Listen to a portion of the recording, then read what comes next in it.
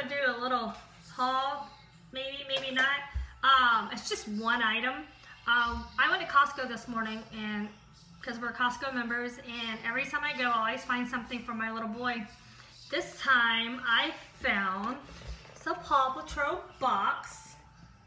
Has a little handle to carry it. And what this is, me reader, read all eight books aloud, electronic reader and eight book library. And this was 18 months and up. And the cost of this was $16.99. So I'll pull these out. I'm not sure if I want to keep them in the book as a carrier or if I just want to, would be nice because it has all the stuff to carry it in. So this is a little e-reader and it actually already has Paw Patrol, the Badges book. It already has batteries in it. The one book is called the Badges book. The second one is Tools for Every Job.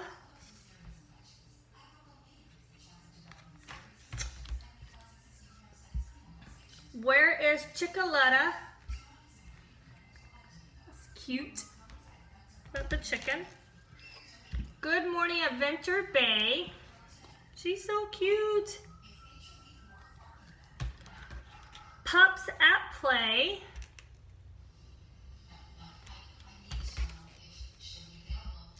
Rough Rough Rescue Day.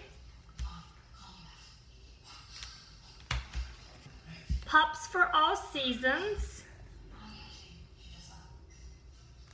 And last but least, Pups on the Go.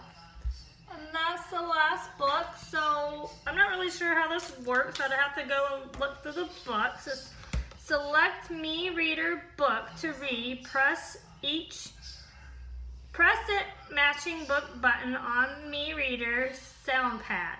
Open the book to only to any page. Press the colors code page button that matches the button, picture and border color of the page you're on, and hear the story read aloud. So it looks like um, whatever I push on here, that's the book it's going to read. So this will be interesting, and um, it'd be good for travel, I think, because we're going to fly soon. So I think if I took some of these and you took them on a plane, I think it would keep them busy. So if you have any questions about this, um, write down below. I'll get back with you. Give me a thumbs up if you like my video. And subscribe to my channel. Have a good day. Bye.